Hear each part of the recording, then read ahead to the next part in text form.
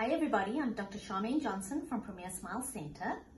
I wanted to shed some light on some different things during this difficult time we were hearing so much about the coronavirus and that's pretty much everything that's on TV. but I want to talk a little bit about this because it'll help you stay healthy and uh, we can help each other as a community. Um, a lot of patients have asked me this week, what mouthwashes do I use? Um, does Listerine kill the, the viruses and the bacteria.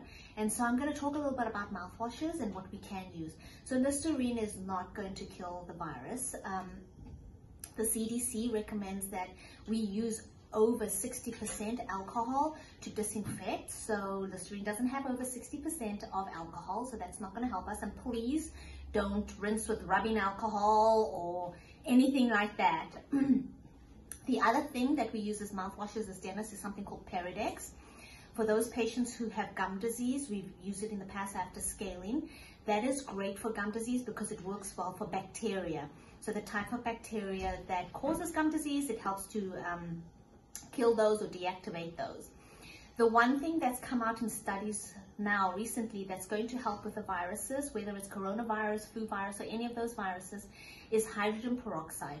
It's 1% of hydrogen peroxide.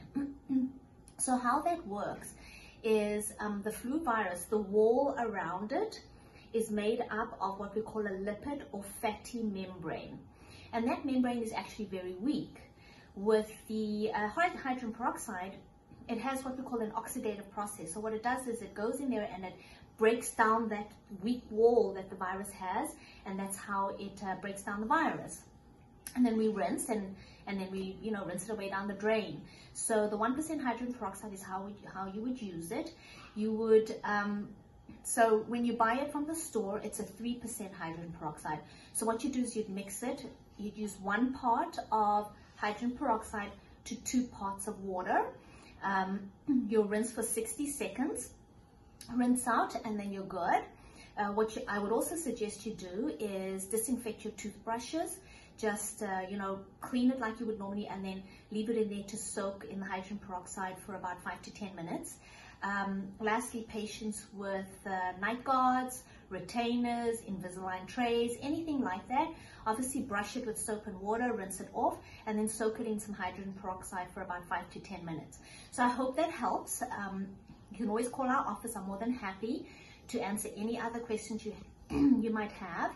The number is 954-566-7475, 954-566-7479, and I hope you all stay healthy.